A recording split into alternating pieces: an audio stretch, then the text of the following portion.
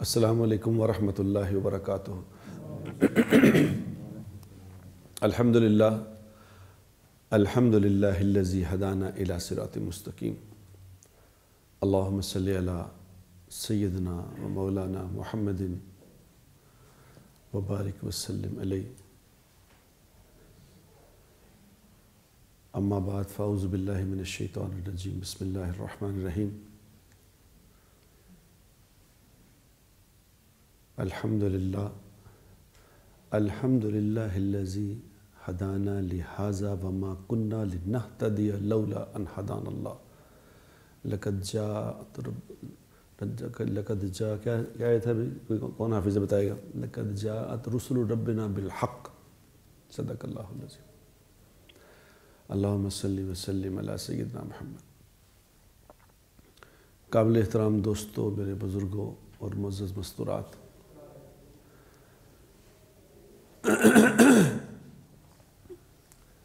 اللہ کے نبی صلی اللہ علیہ وسلم دنیا میں انسانیت کو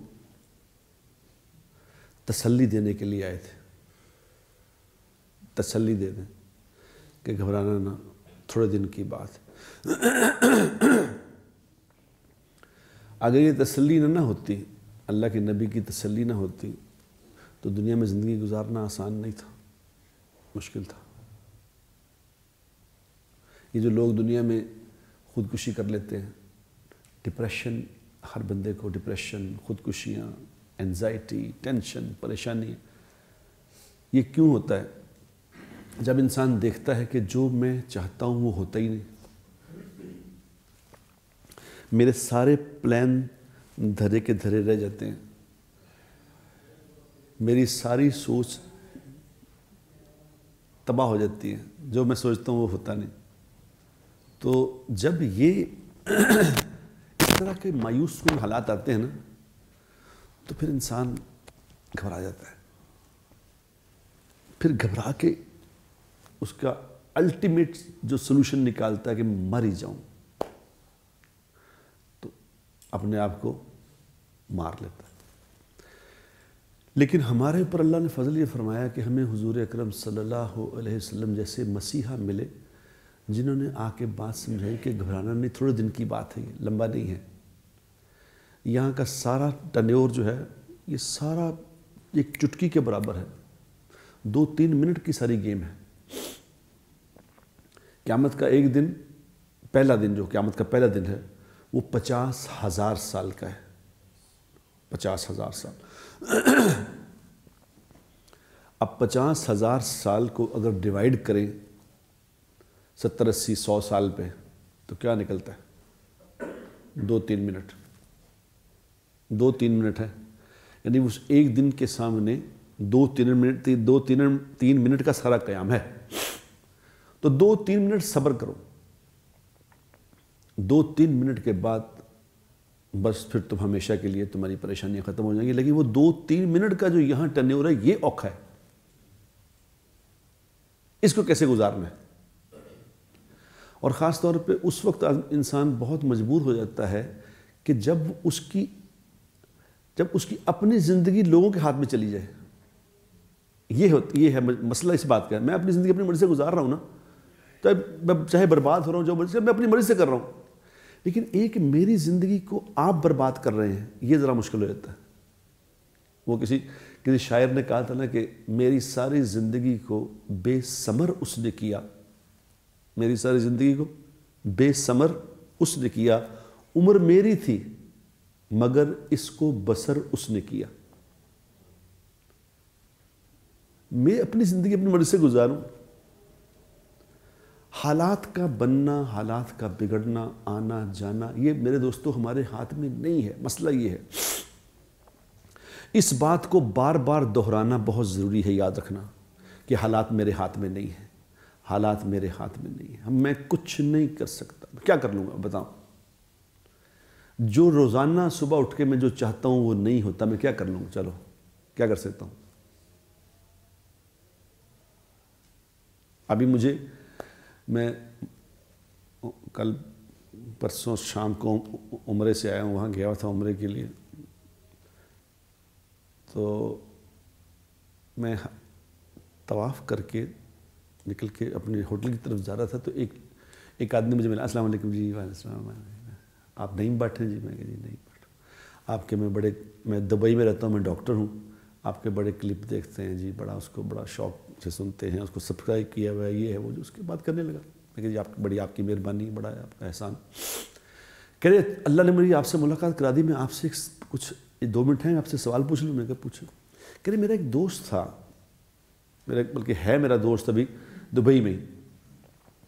تو کہتے بڑا قرآن پڑھتا تھا وہ، بڑا قرآن پڑھتا تھا اور بڑا عمال والا تھا، نماز، قرآن، یہ وہ۔ پتہ نہیں کیا ہوا، وہ ایک دم ایتھسٹ ہو گیا وہ۔ ایک دم اسے سب چیزوں کا انکار کر دیا کہ کچھ نہیں، میں نہیں کسی مانتا کسی اللہ کو، میں نہیں کسی مانتا، بس کچھ نہیں ہے یہ، بس سب جھوٹ ہے۔ تو کہتے اس کا کیا کریں؟ میرے پاس تو کہتے اس کا کوئی جواب نہیں، میں کیا کروں؟ تو آپ اس کا جواب دیں تو میں نے اسے کہا کہ اس معاملے میں آپ اور میں ایک طرح کے ہیں۔ کہہ رہے، کیا مطلب؟ میں کہ نہ، آپ کے پاس جواب ہے، نہ میرے پاس جواب۔ میں کہ کیا جواب دوں؟ اب یہاں میں بیٹھ کے اس کو کیا جواب دوں؟ لیکن ایک بات ہے، ایک بات ہے، قرآن ایسی کتاب ہے، قرآن ایسی کتاب ہے کہ قرآن میں لکھا ہوا ہے کہ یو دلو بھی ہی کثیروں و یہ دی بھی ہی کثیرہ یہ قرآن ایسی کتاب ہے جو بہت لوگوں کو ہدایت دیتی ہے اور بہت لوگوں کو گمراہ کرتی ہے۔ قرآن کیا کرتا ہے؟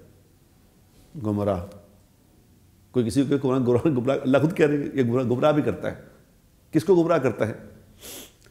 قرآن گمراہ کرتا ہے اس کو جس نے اس کو پڑھنے کی شرط پوری نہیں کی۔ قرآن کو پڑھنے کی شرط کیا ہے؟ ذالک الکتاب لا ریب فی حدل المتقین نا فرمانی کے کاموں کو چھوڑنے والوں کو یہ ہدایت دے گی۔ جو نا فرمانی کے کام چھوڑے بغیر قرآن پڑھے گا، اس کے چانسز جا کے پھنس جائے گا۔ نا فرمانی چھوڑو۔ اللہ نے پہلی شرط لگائی ہے پہلی شروع شروع سٹارٹ الف لام میم، ذالک الکتاب۔ دیکھو، یاد رکھنا، اس کتاب میں کوئی شک نہیں ہے۔ لا ریب، ذرہ برابر بھی اس میں شک نہیں ہے۔ خد للمتقین، لیکن تقوی والوں کو ہدایت دے گی۔ تقوی والا کون جو نافرمانی سے بچے۔ تو میں نے کہا نافرمانی سے بچنا چاہیے تو پھر یہ قرآن بڑی مزیدار کتاب ہے۔ کہتے لیکن سمجھ نہیں ہے میں کہ میں ابھی دبئی آؤں گا تو مجھ سے ملانا۔ کیونکہ ایک منٹ کی بات نہیں ہے، تو بیٹھ کے بات کرنی پڑے گی۔ کہ تو کاؤنسلنگ ہے پوری۔ پورا سمجھانا پڑے گا۔ عمر رضی اللہ تعالیٰ عنہ کے زمانے میں ایک آدمی مرتد ہو گیا۔ عمر رضی اللہ کے زمانے میں دیکھ چکا کہ اسلام کس طرح پھیل رہا ہے اور کس طرح اسلام کہاں سے کہاں پہنچ گیا ہے اور کس طرح اسلام کی فتوحات ہوئی، کس طرح ابھی کل تو حضور تشریف لائے تھے صلی اللہ علیہ وسلم۔ کل تشریف لائے تھے، ایک اکیلے تھے، ایک دم پورے عرب پہ چھا گیا، عجم پہ چھا گیا، روم کی روم کی سلطنت فارس کی سلطنت سب کچھ مسلمان سب کچھ وہاں پہ اسلام پھیل گیا، پھر بھی مرتد ہو گیا۔ مرتد ہو کے چلا گیا وہاں سے۔ تو عمر رضی اللہ تعالیٰ نے پیچھے بندے بھیجے اس کے۔ پیچھے بندے بھیجے کہ جاؤ اس کو کسی طرح منا کے واپس لاؤ۔ تو اس کو منانے کے لیے گئے کہ تو واپس آ جا تو اس نے شرطیں، اس شرطیں لگا رہا ہے۔ شرطیں لگا رہا ہے کہ جی وہ پہلے ایسا ہے کہ پھر مجھے اتنے پیسے دو۔ اسے آپ نے امیر المومنین سے کہو اتنے پیسے دے مجھے۔ کہا جی ٹھیک ہے، ہم لے دیں گے۔ پھر اس سے کہو کہ جی اپنی بیٹی سے میری شادی کرے تو انہوں نے کہا جی یہ بھی ہم درخواست کر دیں گے، یہ بھی کرا لیں گے۔ انہوں نے کہا تیسری شرط بھی ہے۔ انہوں نے کہا وہ کیا؟ انہوں نے کہا حکومت مجھے دے۔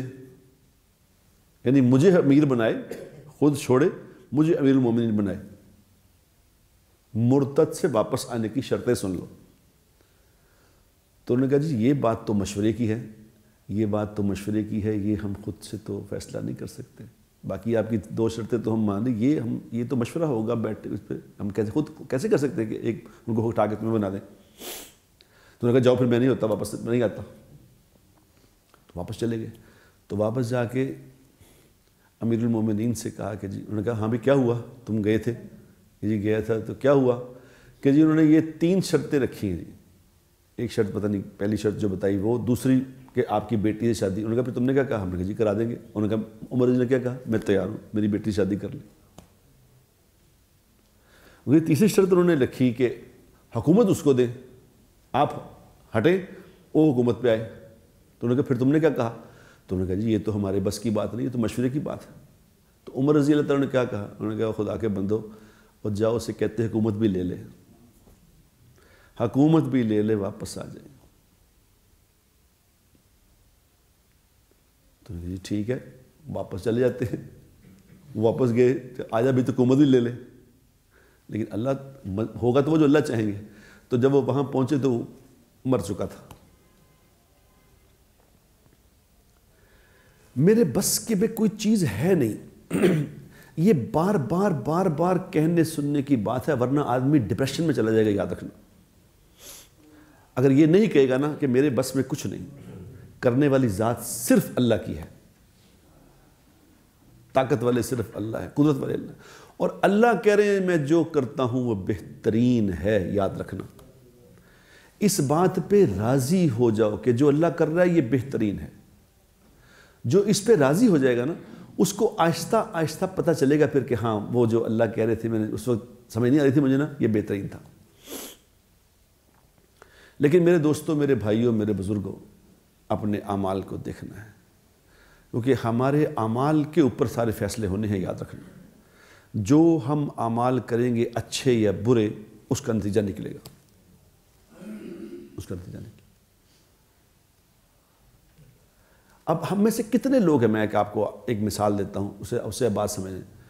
ہم میں سے کتنے لوگ ہیں جو یہ بات سوچ رہے ہیں کہ اللہ کے نبی نے مجھے یہ فرمایا ہے تو اس میں میں کتنا غور کرتا ہوں۔ ایک مثال دیتا ہوں آپ کو۔ حضور اکرم صلی اللہ علیہ وسلم نے منافقت کی چار نشانیاں بتائی ہیں کہ جس آدمی میں یہ چار نشانیاں ہیں، یہ پکا منافق ہے۔ اور جس میں، اس میں سے ایک آدھ ہے، باقی نہیں ہے، یہ منافقت کی ایک سرحد پہ پہنچا ہوا ہے۔ اب یہ چار نشانیاں، چار باتیں مجھ سے سن لو، پھر پھر اس پہ بیٹھ کے اس بات کا آج آج گھر جا کے غور کرنا کبھی، اپنے بچوں کو بٹھا کے اس پہ غور کرو کہ کیا یہ ہمارے اندر تو نہیں ہے؟ اگر ہیں تو اللہ کے نبی کا تو یہ فرمان ہے، نمبر ایک۔ آپ نے فرمایا، منافق کی چار نشانیوں میں پہلی نشانی یہ ہے کہ جب وہ بات کرے گا، جھوٹ بولے گا۔ جھوٹ بولے گا۔ منافق جھوٹ بولے گا۔ اور جھوٹ بولنے کو برا نہیں سمجھے نمبر ایک۔ نمبر دو، اگر کوئی اس کو امانت دی جائے گی، کوئی امانت دی جائے گی تو اس میں خیانت کرے گا۔ اس میں خیانت کرے گا۔ دو۔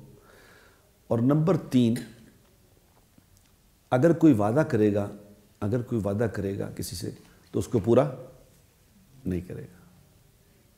اس کو نہیں پورا کرے گا۔ اور نمبر چار، اگر کسی سے لڑائی جھگڑا ہو جائے، لڑائی جھگڑا ہو ہی جاتا ہے۔ اگر کسی سے اونچ نیچ ہو جائے تو فوراً گالیاں نکالے گا۔ فوراً گالی پہ آ جائے گا۔ اب اللہ کے نبی کے فرمان کا تو مفہوم ہے کہ یہ چار نشانیوں والا پکا منافق ہے۔ پکا منافق۔ جس میں سے، جس میں ایک آدھ ہے وہ منافقت کی سرحد سرحد پہ پہنچا ہوا اب اپنے ایمان سے بتاؤ کہ ہم میں سے کتنے لوگ ہیں جو اس بات کو بیٹھ کے سوچ رہے ہوں کہ یار کہیں مجھ میں یہ باتیں تو نہیں ہیں؟ مجھ میں کوئی یہ بات تو نہیں ہے؟ وہ تو اللہ کے نبی نے تو اس کی اس بات سے ڈرایا تھا کہ دیکھو یہ ہوگا تو منافق ہو گئے، یاد رکھنا۔ اور منافق کا درجہ کیا ہے؟ منافق کا درجہ کیا ہے کہ وہ سب سے نیچے والی جہنم میں ہوگا۔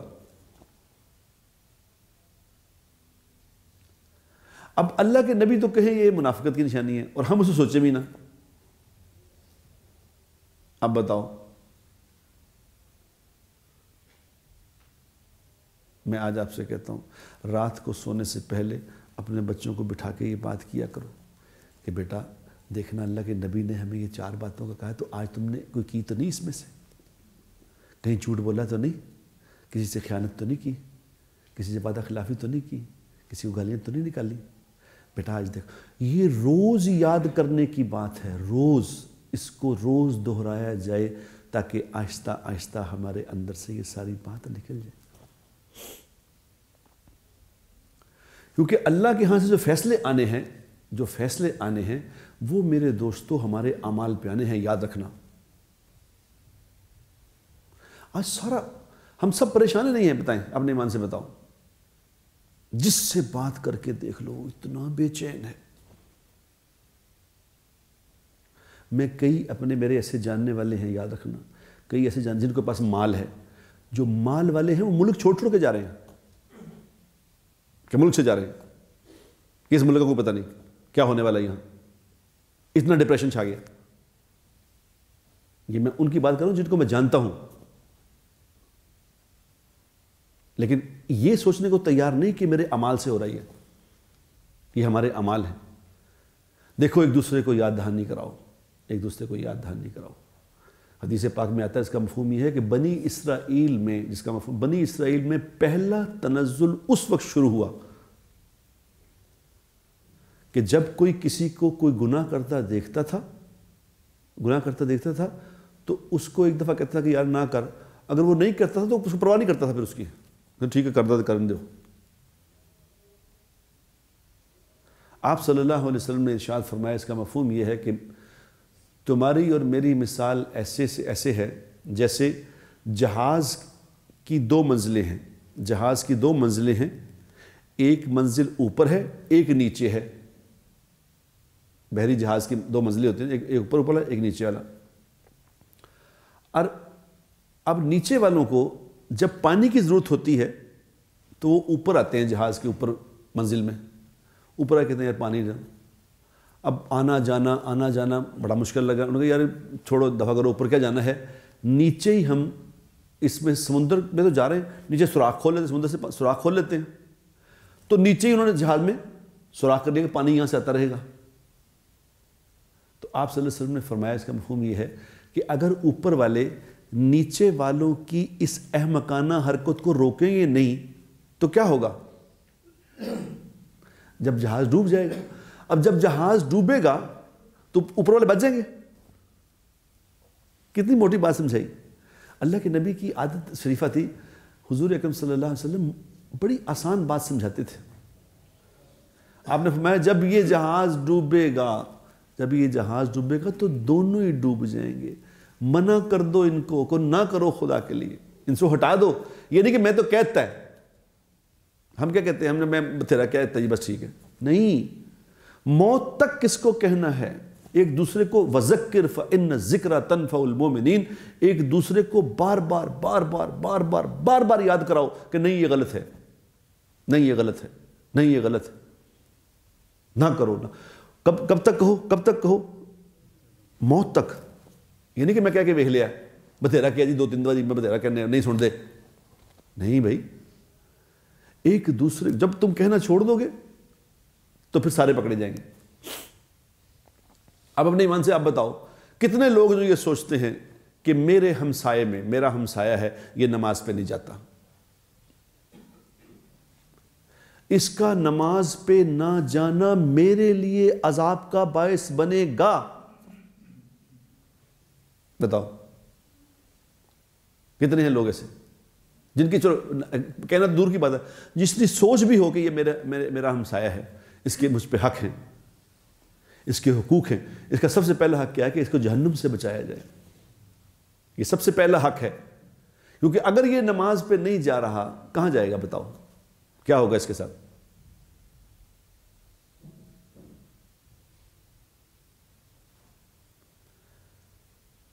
اوہ، یہ جو اس وقت کے حالات بنے ہوئے ہیں میرے دوستو، یہ حالات ہمارے اپنے ہیں، بنائے ہوئے ہر روز ایک نئی خبر آتی ہے، ایک نئی بے چینی۔ کرونا وائرس کیا جی کرونا وائرس آ گیا؟ یہ کیا ہوا؟ یہ کس نے بھیجا ہے؟ کرونا وائرس کس نے بھیجا؟ چائنا نے؟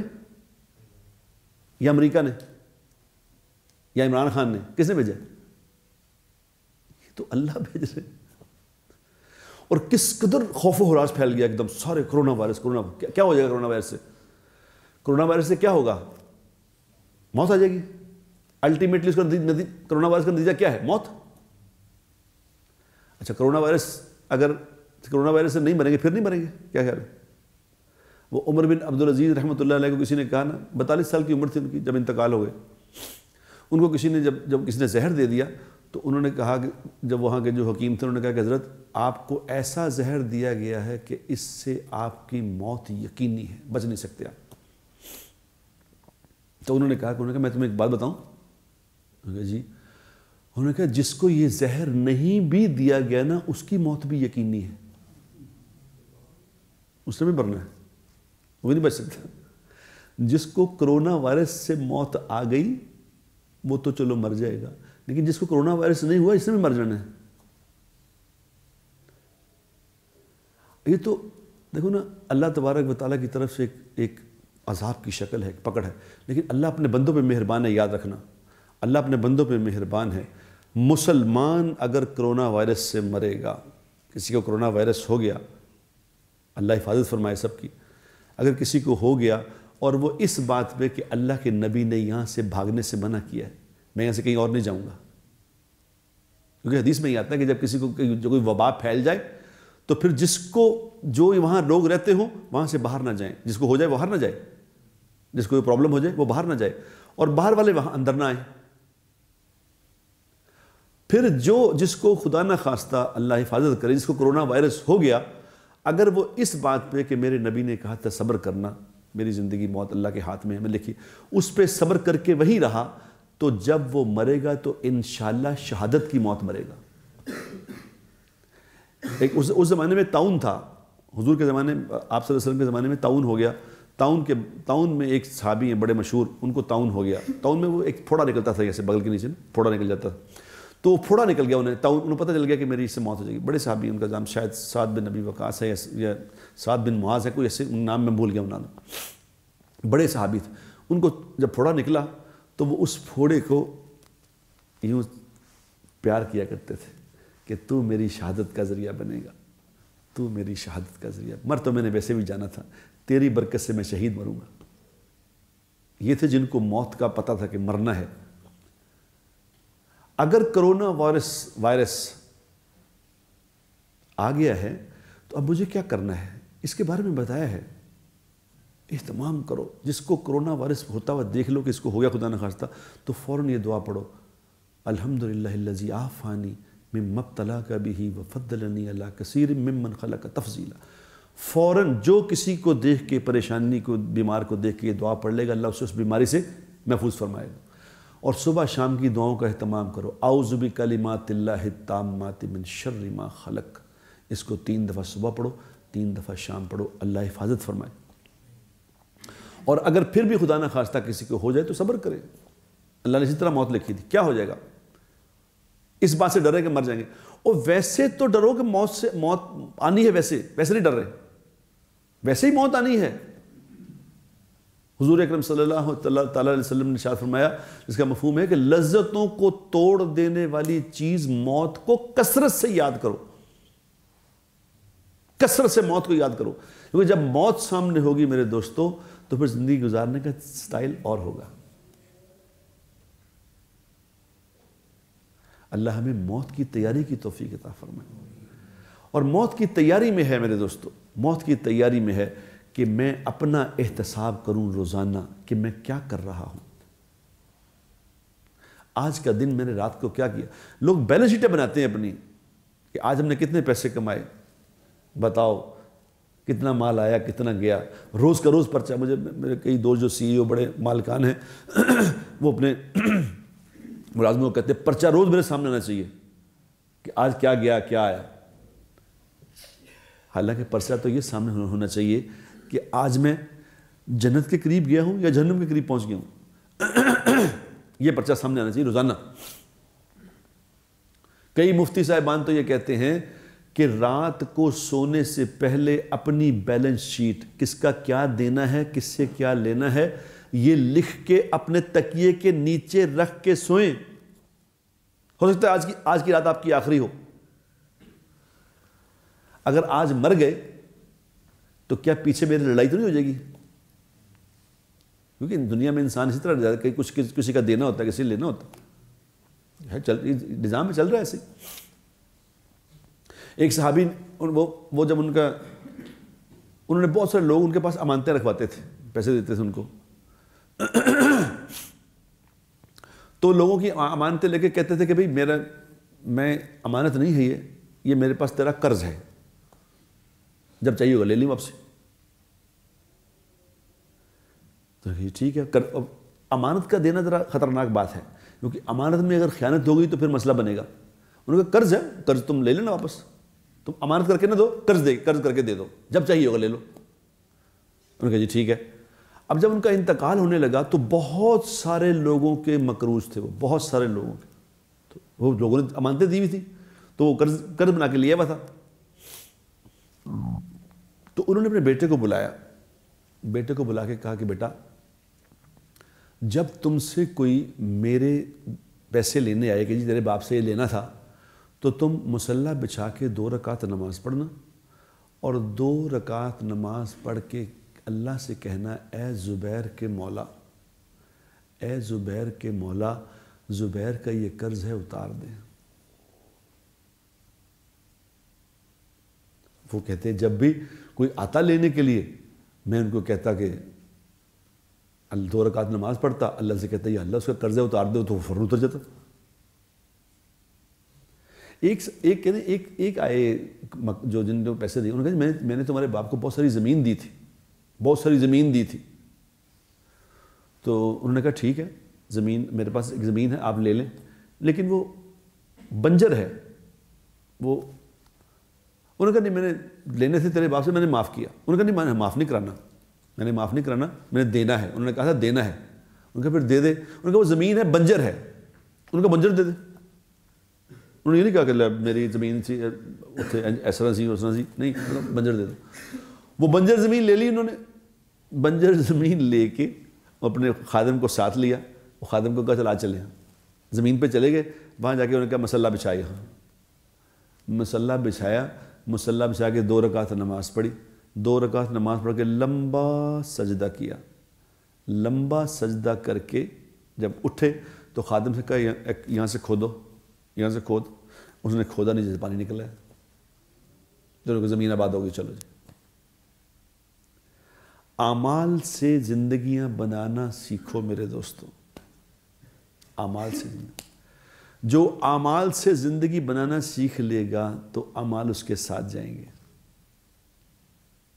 پیسہ ساتھ نہیں جا سکتا امال ساتھ جائیں گے، یہاں بھی، وہاں بھی۔ اب جس نے دو رکعت نماز پڑھنی سیکھ لی ہے دو رکعت نماز پڑھ کے اللہ سے اپنا مسئلہ حل کرانا سیکھ لیا ہے، تو بتاؤ اس کی کس چیز کی ضرورت ہے؟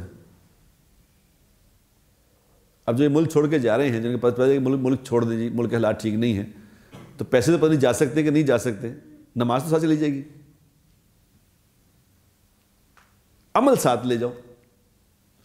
عمل سیکھو میرے دوستو اور اس بات پہ یقین کرو کہ زندگیاں عمل سے بنتی ہیں، خدا کی قسم اعمال سے بنتی ہیں، اعمال سے بنتی ہیں، اعمال سے اور اللہ تبارک و تعالیٰ میں سمجھتا ہوں بڑا مہربان ہے اپنے بندوں پہ۔ میں اس دفعہ عمرے پہ دیکھا میں نے۔ میں سمجھ رہا تھا کہ پندرہ جنوری کے بعد نا، اپنی اپنی طرف سے میں گیا کہ پندرہ جنوری کے بعد لوگوں کی چھٹیاں بچوں کی ختم ہو جاتی ہیں تو عمرہ پہ خالی ہوگی، جگہ آرام سے چل جائیں تو جب میں وہاں گیا ہوں تو مجھے ایسے لگا جیسے حج پہ آیا ہوں اتنا رش۔ اور میں دیکھ رہا تھا لوگوں کو باہر۔ غریب غریب لوگ۔ غریب غریب لوگ۔ بے شمار۔ شکلوں سے جن کا لگا کہ غریب لوگ ہیں۔ وہ سب عمرے پہ پہنچے۔ تو میں ساتھ میں دوست کو کہہ رہا تھا، میں کہ دیکھو، اللہ کیسی کریم ذات ہے۔ اللہ نے اپنے گھر کی زیارت اتنی آسان کر دی ہے، اتنی آسان کر دی ہے کہ سب کو ہی بلا لیا کہ آج سارے ہی آ جاؤ اللہ کا ڈیرا بھی بھرا ہوا تھا اور اللہ کے نبی کا ڈیرا بھی بھرا ہوا تھا۔ لنے لگی ہوئی حضور کے دربار میں۔ لنے لگی بھرے ہوئے ڈیرے۔ کیوں؟ میں نے اس سے کہا، میں نے کہا، میں تمہیں ایک بات بتاؤں۔ ایک بات بتاؤں کہ میں کہ دیکھو، اللہ تبارک بطالہ کریم ذات ہے اللہ رحم کرنے والا معاف کر۔ جو لوگ یہاں آتے ہیں نا، وہ اس امید پہ آتے ہیں کہ ساری زندگی تو ہماری غلط گزری ہے۔ لیکن اللہ کے دربار میں جا کے، اللہ کے نبی کے دربار میں جا کے معافی مانگ لیں گے، تو اللہ معاف کر دے۔ کہ اس امید پہ آتے ہیں لوگ یہاں۔ انہوں نے کہا ہاں تو میں کہ تیرا کیا خیال ہے؟ اللہ لوگوں کی امید توڑ دے گا؟ وہ اللہ ہے۔ کوئی وزیر اعظم پاکستان نہیں ہے۔ وہ اللہ ہے، اللہ۔ اللہ کو عطا کرتے ہوئے کیا پرابلم ہوتی ہے؟ کل میں سن رہا تھا، کلپ ان کا غامدی صاحب کوئی جو ہمارے جو بڑے بڑے سکولر ہیں گامدی صاحب، وہ فرما رہے تھے کہ لوگوں کو بڑا، بہت بڑا دھوکہ ہے لوگوں کو کہ جو مرضی گناہ کرو، پھر جا کے عمرہ حج کر لیں گے، معاف ہو جائیں گے سارے۔ لوگوں کے جتنے مرضی پیسے مار لو لوگوں کی جو مرضی زیادتی کر لو، اللہ معاف کر گا لوگوں کو اس غلط فہمی سے نکالنا چاہیے کہ ایسا نہیں ہے۔ یہ ان کا کلپ تھا۔ تو میں کلپ سن کے کہہ رہا تھا، میں نے کہا یہ غلط کہہ رہے ہیں گاندھی صاحب۔ گاندھی صاحب، یہ بات غلط ہے۔ جو یہ سوچتا ہے کہ میں نے بہت زیادتیاں کی ہیں، لوگوں سے ظلم کیا ہے، وہاں جا کے معافی مانگ لوں گا، اللہ اس کو معاف کر دے گا اور اللہ اس کو توفیق بھی دے دے گا کہ جا کے لوگوں کی جن سے زیادتی کی ہے، ان سے ادا بھی کر دے ان کو۔ اللہ ہی توفیق دے دے گا۔ لوگوں کی امیدیں نہ توڑو۔ ایک ہی تو امید ہے کہ اللہ معاف کر دے گا۔ تو وہ معاف کر دے گا۔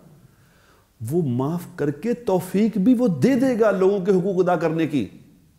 تم نہیں یہ کہو کہ جی پہلے حقوق ادا کرو تو یہ کرو، چھوڑو حقوق کا۔ اور معافی مانگو تم۔ تم معافی مانگو، اس کو معاف کرنے والا پاؤ گے۔ حضور اکرم صلی اللہ علیہ وسلم کے دربار میں یہ حدیث پاک لکھی ہوئی ہے، جس کا مفہوم ہے کہ اے، یہ قرآن کی آیت کا مفہوم ہے کہ اے نبی جی یہ جن لوگوں نے اپنی جانوں پہ ظلم کر لیے ہیں جانوں پہ ظلم، کبیرہ گناہ کر لیے ہیں، وہ جب آپ کے دربار میں آ کے مجھ سے معافی مانگیں اور آپ بھی ان کی سفارش کریں، آپ بھی ان کی سفارش کریں تو ہمارے ذمے معاف کر دیں گے۔ میں ابھی جو ابھی میں جب روضہ مبارک پہ گیا تو میں نے جا کے کہا، یا رسول اللہ، یا رسول اللہ، آپ کے اللہ نے کہا ہے کہ یہ جنہوں نے اپنی جانوں پہ گناہ، ظلم کیا ہے یہ تیرے دربار میں آ کے مجھ سے معافی مانگیں، پھر آپ بھی سفارش کر دیں تو ہم معاف کر دیں گے۔ میں نے کہا، یا رسول اللہ، میں آپ کے دربار میں آ کے اللہ سے معافی مانگتا ہوں۔ آپ بھی میرے لیے درخواست کر دینا۔ آپ بھی اللہ سے کہہ دیں، معاف کر دیں۔ تو ایک دم میرا دل ٹھنڈا ہو گیا۔ مجھے ایک دم لگا جیسے میرا دل ٹھنڈا ہو گیا، ٹھنڈا۔ مجھے ایسے لگا جیسے میری میری میری بات سنی گئی۔ اللہ بہت بڑی ذات ہے۔ اللہ کو پابند نہیں کر سکتے۔ اللہ کو نہیں پابند، اللہ جس کو چاہے گا معاف کرے گا، اور جس کو چاہے گا توفیق دے گا انشاءاللہ تعالیٰ۔ آپ تو لوگوں کو معافی کا کہو، یہ نہ بتاؤ کہ یہ تم نے کیا ہے، وہ اور چھوڑو یار، تم کیا لگا، تمہیں کیا پتا اللہ کی ذات کو کوئی تکلیف نہیں پہنچا سکتا۔ اللہ کو تکلیف نہیں ہوتی، تکلیف مجھے ہوتی ہے۔ آپ نے مجھ سے زیادتی کی مجھے تکلیف ہوگی۔ اللہ سے کون زیادتی کر سکتا ہے؟ اللہ کو کون دکھ دے سکتا ہے؟ اللہ کو کون پریشان کر سکتا ہے؟ اللہ ان سب خامیوں سے پاک ذات ہے۔ اس لیے اللہ کو کسی کو معاف کرتے کوئی پرابلم نہیں ہوتی۔ بس معافی مانگو اللہ سے۔ روز اللہ سے معافی مانگو یا اللہ معاف کر دے، یا اللہ معاف کر خود حضور اکرم صلی اللہ علیہ وسلم فرما رہے ہیں کہ میں ستر دفعہ روزانہ اللہ سے معافی مانگتا ہوں۔ حضور تو گناہ سے پاک ہے آپ نے تو کوئی گناہ نہیں کیا۔ ہمیں سمجھا رہے ہیں کہ تم نے کیا کرنا ہے۔ مضبوط پکڑو معافی مانگنے کو۔ روزانہ تین سو دفعہ یہ کہا کرو کہ یا اللہ معاف کر دے۔ اللہ مغفر لی اللہ مغفر لی، اللہ۔ تو اللہ کو معاف کرنے والا پاؤ گے۔ تو انشاءاللہ جب اللہ معاف کر دے گا، حالات بھی ٹھیک کر دے گا انشاءاللہ۔ مانگیں گے معافی؟ اللہ مجھے بھی معاف فرمائے، اللہ آپ کو بھی معاف فرمائے۔ باخر دعوانا۔